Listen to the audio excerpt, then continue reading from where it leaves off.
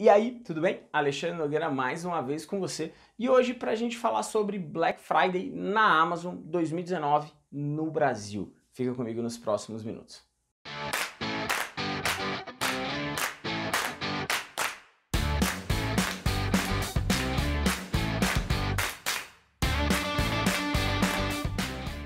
Bom, falando de Amazon e antes disso, se inscreve aqui no canal, se tiver vermelhinho o botão é porque você ainda não está inscrito se inscreve aqui, ativa o sininho e vamos falar de Amazon agora, tá certo? O que esperar da Black Friday da Amazon 2019? Um primeiro ponto que eu já posso te falar é que no dia 30, tá certo? A Universidade Marketplace, juntamente com o Bling e o apoio do Grupo Foco em Vendas, nós vamos fazer um evento com a Amazon, lá na Amazon aqui, né?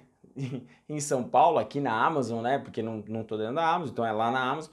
Lá na Amazon, no dia 30, 80 pessoas é o que cabe dentro do auditório, então aproveita, se inscreve no link aqui embaixo para você não ficar de fora. E se você não conseguir ir, não tem problema, só não tira a vaga do seu amigo, não se inscreve, tá certo? E se inscreve para acompanhar o evento de forma online. Por que, que a gente tem que falar da Amazon e até mesmo por que, que esse evento existe? Porque hoje, e na verdade esse ano, vai ser a primeira vez que a Amazon está com praticamente todas as categorias do portfólio ativas. Tá?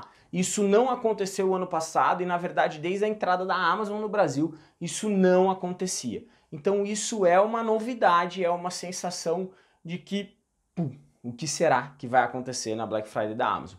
Nós temos sempre duas escolhas, participar ou não de Black Fridays, e se você deixar ali pelo menos prontinho, pronto para receber, né, aquela, aquela condição e às vezes ter uma venda efetiva, cara, no pior dos casos, vai vender, tá certo? Então, o que esperar com 20, mais de 26 categorias, né, da Amazon ativas no Brasil? Outro ponto muito importante, né, o segundo ponto extremamente importante quando a gente fala de Amazon hoje no Brasil, é que eles lançaram o Prime. Então, o Prime é um serviço mundial da Amazon, aonde consiste em várias coisas dentro de um pacote, mas o que realmente atrela a nós é que as pessoas que são Prime têm o frete grátis em seus produtos e esse frete grátis nós não precisamos pagar.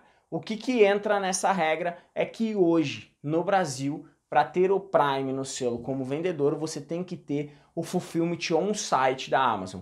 Ali, o que, que é o Fulfillment On-Site? É o modelo de Fulfillment praticado na Índia, que foi trazido ao Brasil também, aonde consiste você ter a sua operação de fulfillment dentro do seu estoque, né? Então você vai reservar um pedaço do seu estoque, você vai fazer a triagem dos pedidos da Amazon por dentro de um sistema, né? O pick and pack ali, você vai fazer o packing, todo o processo final dentro atrelado a um sistema da Amazon, e isso é como se fosse um fulfillment realmente dentro do seu próprio CD. Isso é o primeiro passo da Amazon, no meu ver, para que eles tenham um fulfillment mais evoluído a hora que eles quiserem trazer o um modelo norte-americano. Então hoje, quem tiver o fulfillment on site vai conseguir ter o selo Prime.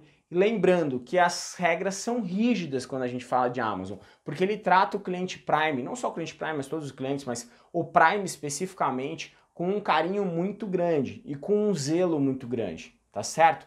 E se você quiser saber mais do on-site, acompanha aí o evento no dia 30, porque a gente vai falar sobre isso. A gente não, não vou ser eu, tá certo? Eu não sou o cara mais especialista do mundo quando a gente fala de Amazon, até porque muita coisa vem mudando dentro da Amazon. E sim, eles vão falar sobre isso, tá? Uma coisa que algumas pessoas podem me falar, Ale, mas o problema da Amazon é o frete hoje. E aí, uma mudança de mindset, uma mudança de cabeça aí para você pensar. Você não precisa ser bom em todos os fretes. Você precisa ser bom nas regiões onde você mais vende os produtos que você escolher fazer a Black Friday, ok? Então fica mais fácil quando ao invés de eu ter que configurar uma boa tabela com excelente frete para o Brasil inteiro, eu tiver que configurar apenas para alguns estados, ou para algumas regiões, ou até mesmo para alguma cidade especificamente, para você poder usufruir daquele frete. Certo? Essa é uma condição diferenciada. Ale, mas eu quero fazer uma Black Friday na Amazon só para minha cidade utilizando o motoboy. Na Amazon você consegue fazer isso. E o que eu recomendo para você, se você tem dúvida de como configurar a tabela de frete, eu vou deixar aqui embaixo para você um vídeo do Melhor Envio, aonde eles têm um plugin no Chromium que praticamente configura a tabela para você. Depois você só arruma essas regiões principais, tá certo? De graça, você só entra lá, cria sua continha no Melhor Envio, gratuito também, e ativa essa tabela. Depois você vai usar ou não, o frete do melhor envio fica a seu critério, tá certo? Outra coisa interessante, só que para você ter ciência, por que, que o frete da Amazon é da forma que é? Ao invés da gente ficar aqui reclamando, porque eu também reclamava. Eu também virava o pessoal da Amazon e falava, meu, pô, muda esse frete, pelo amor de Deus, esse frete não é um modelo que funciona. Que com certeza eles estão buscando modelos e saídas para adaptar isso à, à realidade brasileira. Com certeza, não tenho dúvida, tá certo? Mas um dia o Dani da Amazon me explicou isso. A gente estava lá em Curitiba, um dia antes do TreyConf lá em Curitiba. E ele me falou, ele falou, olha, sabe por que, que isso funciona? Porque a Amazon hoje, quando a pessoa entra, ele puxa a geolocalização, ou seja, ele pega a localização aproximada que você está e modifica todas as buy box dos produtos para você ter as melhores ofertas, como comprador, tá certo? Então o comprador vê as melhores ofertas por geolocalização. Ele só consegue fazer isso com a rapidez necessária e garantir que isso vai ser feito tendo todos os fretes dentro da sua base. Então isso provavelmente não mude. Eu acredito que eles vão melhorar, eles vão adaptar, eles vão fazer, sei lá, algum tipo de cache, algo do tipo deve ser feito, tá? Mas isso não vai mudar. Então nós temos que entrar na veia dentro desse ponto, tá? Se você quer saber qual produto que, se o produto que você aposta bem em outro marketplace, ele é um produto que tem saída dentro da Amazon, analise o ranking de produtos que, esse, que a Amazon possui tá? Eu acho que eu já falei disso em um outro vídeo, mas dentro do seu produto normalmente tem um ranking, ele diz qual que é o ranking dele na categoria. Se você clicar, você vai ver o ranking inteiro da categoria. E aí você começa a entender quais são os produtos que mais vendem naquela determinada categoria e se o seu produto faz parte de um produto que é muito buscado, tá?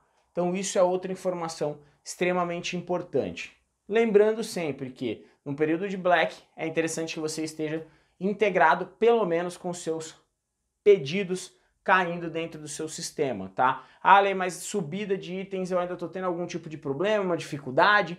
Tá, mas pelo menos a caída de, de, de pedidos funcionando para que você não tenha nenhum problema. E lógico, o quanto melhor tiver para baixo de estoque, etc., é muito importante. Então deixa reguladinho pelo menos as ofertas que você vai ser agressivo dentro da Black Friday a Amazon mostra para você no painel de entrada se você tem uma oferta que poderia estar tá ganhando uma buy box ou, ou não, tá? Então ele te mostra ali para você poder melhorar o lance, ajustar e fazer coisas diferentes quando a gente fala de Amazon, tá bom? Então o que esperar da Amazon? Ela é uma, uma grande aposta dentro do meu negócio? Ela é um dos canais que a gente sim vai cuidar e vai colocar produtos de apostas dentro desse canal fazendo um filtro muito bom e muito grande para que a gente tenha uma boa oferta de frete para as regiões que mais consomem os produtos que vão para a nossa Black Friday, tá bom? Então, Black Friday 2019, vamos para cima. Fala aí comigo, deixa aqui embaixo se você vai fazer a sua Black também na Amazon. E dia 30, acompanhe o nosso evento. Valeu!